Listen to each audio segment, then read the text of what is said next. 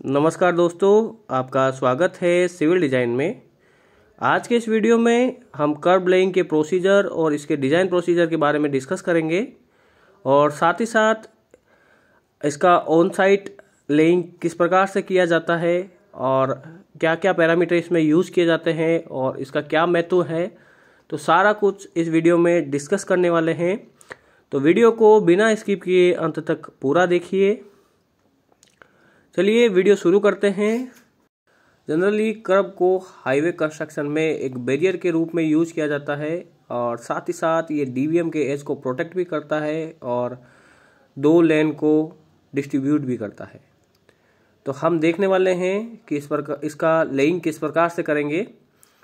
तो आप देख सकते हो, यहाँ पे इसका लेइंग चल रहा है और मैं आपको बता दूँ, यहाँ पे जो लेइंग में यूज़ किया जाने वाला कोड है वो five seven five eight nineteen eighty four है। इसके अकॉर्डिंग इस कर्व को डिज़ाइन किया गया है। आप पिक्चर में देख सकते हो कि यहाँ पे इसका सेक्शन किस प्रकार से है।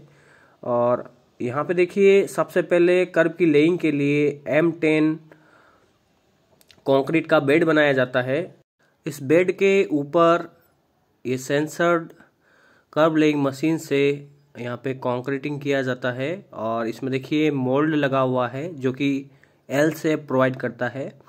यहाँ पे एल सेप प्रोवाइड करने का सबसे मेन रीज़न ये है कि बारिश के दिनों में यहाँ पे वाटर का फ्लो काफ़ी स्मूथली होगा और यहाँ पे इसमें गैपिंग भी दी गई है। प्रत्येक 20 मीटर पे यहाँ पे गैपिंग प्रोवाइड की गई है। इस गैप के ज़रिए एक शूट और फ्लूम बनाया जाएगा। उस फ्लूम से जो टोटल इस पेमेंट का वाटर होगा वो शूट के माध्यम से नीचे टो ड्रेन में चला जाएगा।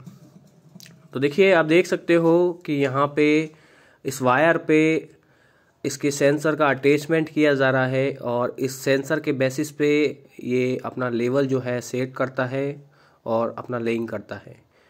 तो यहाँ पे यूज़ किया जाने वाला कंक्रीट एम ट्वेंटी ग्रेड का है और एक स्पेशल कंक्रीट है जो जल्दी सेट होता है क्योंकि यहाँ पे हम कोई भी प्रकार का सटरिंग प्रोवाइड नहीं करते हैं तो यहाँ पे इसीलिए ऐसा कंक्रीट यूज़ किया जाता है जो जल्दी सेट हो जाए और इसका प्रॉपर शेप बने।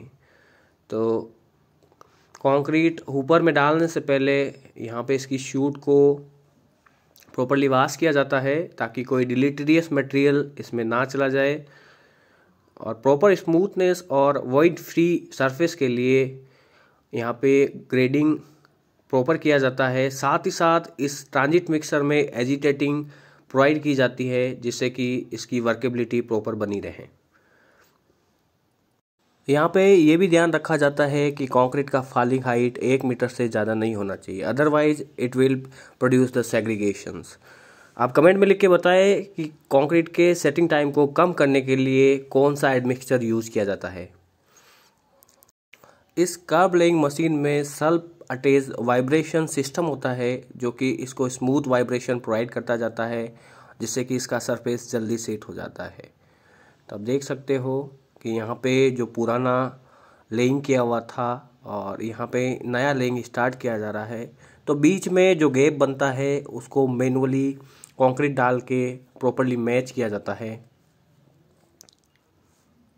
ये एक low barrier L shaped curve है, जो कि टेन सेंटीमीटर इसका थिकनेस है और साथ ही साथ इसका विर्थ सिक्स हंड्रेड एम है। तो देखिए, यहाँ पे इसको थोड़ा सपोर्ट प्रोवाइड किया जा रहा है, जिससे कि कंक्रीट का पोरिंग प्रॉपरली हो और साइड से इसका स्मूथनेस बना रहे। बट यहाँ पे ऐसा भी नहीं है कि यहाँ पे इसको सटरिंग प्रोवाइड किया जाए, क्योंकि यहाँ पे जो कंक्रीट का प्रॉपर्टी यूज़ किया जा रहा है तो उसके अकॉर्डिंग जो कंक्रीट है, वो जल्दी सेट हो जा रहा है। इसका इनिशियल सेटलिंग टाइम बहुत ही कम है। कर्व का gradient according to the I S code one ten रखा जाता है बट इसको एग्जिस्टिंग डीवीएम के ग्रेडियंट से भी बनाया जा सकता है।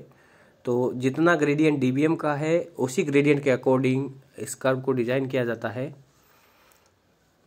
इस कर्व का ग्रेडियंट इसमें लगे सेंसर के द्वारा मेंटेन किया जाता है। तो आप देख सकते हो कि यहाँ पे इसका स्लोपिंग हाइट ग्रेजुअली बढ़ रहा है। एक बार लेइंग करने के बाद यहाँ पे प्रॉपर स्मूथनेस प्रोवाइड की जाती है और इसको प्रॉपरली मेन पावर की हेल्प से इसको स्मूथनेस दी जाती है। कंक्रीट के फाइनल सेट होने के 24 फोर आवर्स बाद यहाँ पे ग्रू कटिंग मशीन से प्रत्येक पाँच मीटर के इंटरवल पे ग्रू का कट किया जाता है, जिससे कि इसमें क्रेक डेवलप ना हो।